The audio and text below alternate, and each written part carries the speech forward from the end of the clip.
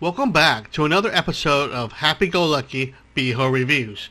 Today we will be talking about one of my favorite systems of all time, the Sega Saturn, and about the RPGs I enjoyed on that system before they drastically changed with Mass Effects, The Witcher, and Dragon Age.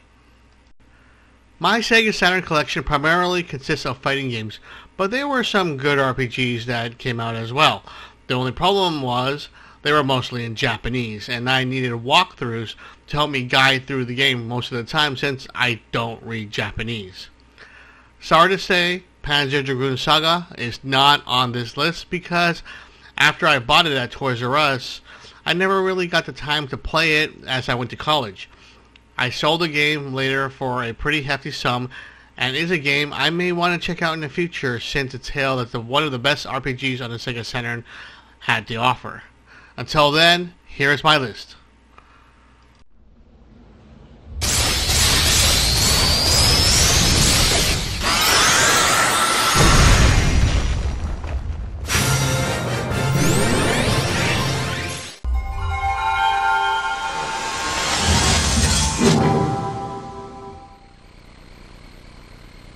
We start with Albert Odyssey, Legend of the Eldean, released by Working Designs in North America in 1996.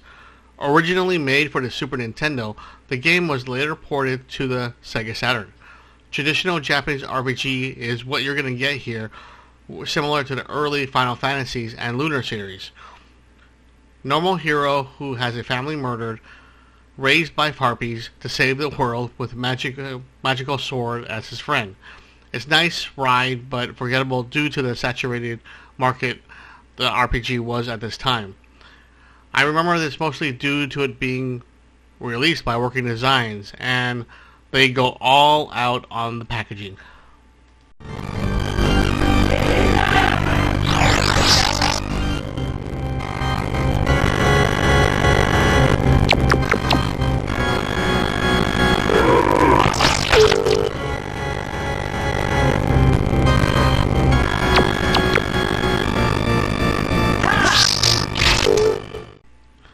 Dragon Force was developed by Sega and released by Working Designs in 1996. Hailed as one of the best tactic RPGs on the system, the immense battles are what draw you in. Similar to Dynasty Warrior series, where this is a where there is one main super general with a super army versus another super general and their army. The generals usually are the hardest to take down, but once you do, the battle is won. I spent numerous hours on end playing, trying to outsmart my opponent. My way of winning always had just enough archers to take out the first wave.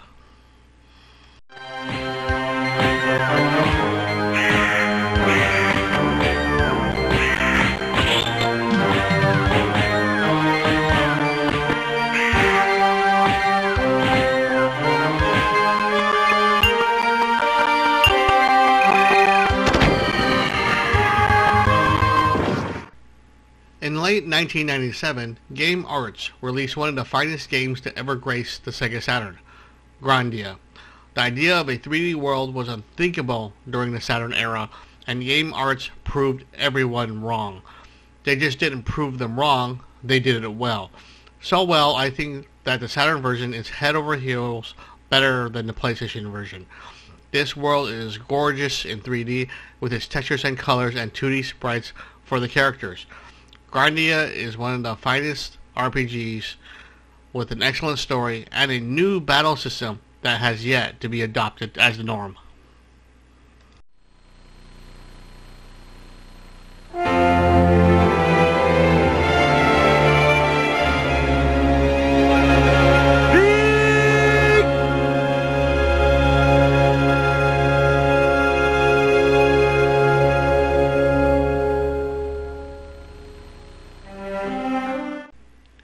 A remake of the old classic Sega CD game, Lunar, was released in 1996. The game comes through with more full motion animations, music redone for the better, and more character interaction to flesh them out with a great story. The Lunar series was so popular since Sega only had Phantasy Star at the time, it was always a refreshing take on the traditional Japanese RPG, but with music and love as its main focus.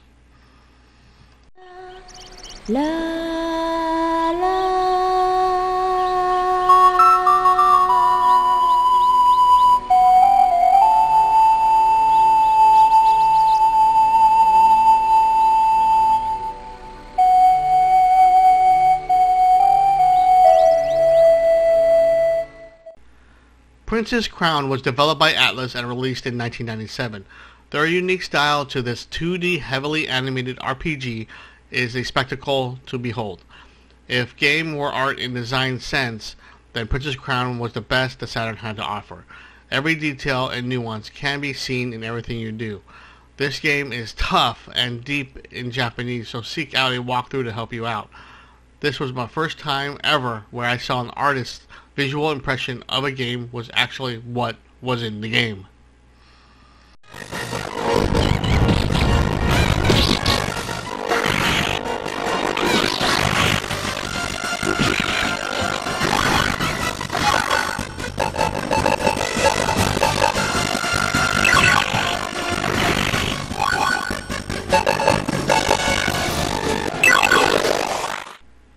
Last Saturn game I purchased for the Sega Saturn was Shining Force 3, released in 1998. Actually, scratch that. The last game I purchased was Final Fight Revenge in 2000, but I hated that game so much. It was one of the games I sold with absolutely no regrets. Plus, I sold it for 10 times the price I paid it for, so that didn't hurt either.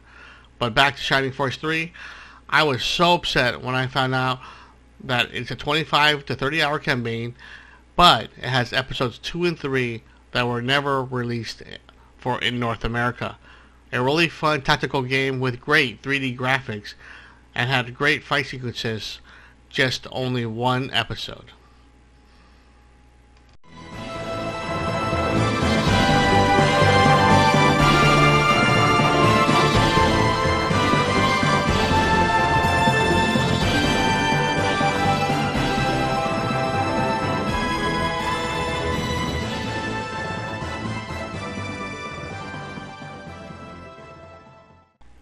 Like most games, Shining in the Holy Ark was released in 1997 by Sega. This game was similar to Shining in the Darkness, which I thought had one of the best intros in video game history on the Sega Genesis. The game has you travel through dungeons in first person, and first person dungeon crawlers were not my cup of tea. But Shining in the Holy Ark has fantastic battle sequences that will keep you on course.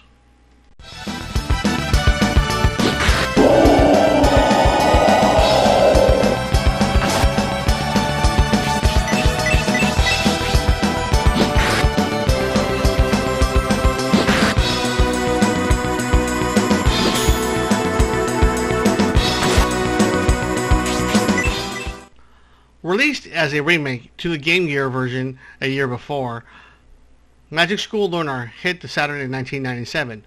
With updated graphics and added anime movies with sound, this game was to take place hundreds of years before Lunar, the Silver Star story.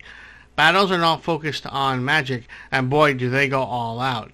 The playthrough I had had only one true warrior, and the rest dealt with supportive or offensive magic, which was a sight to behold on screen.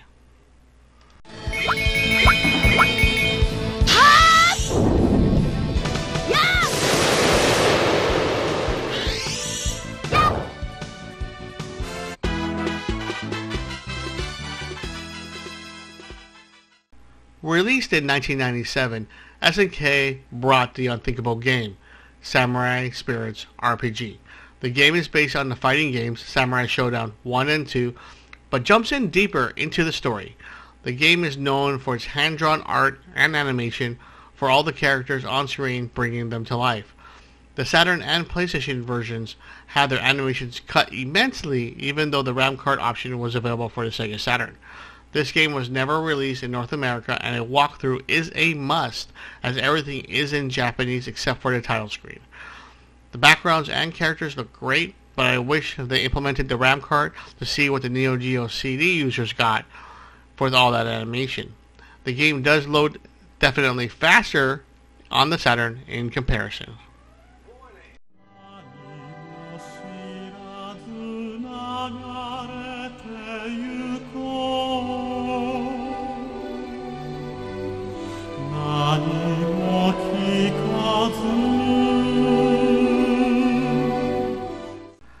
That's it for today on this episode when we're taking a closer look at my RPG collection for the Sega Saturn. Please like and subscribe to see more videos. Greg, take us out of here.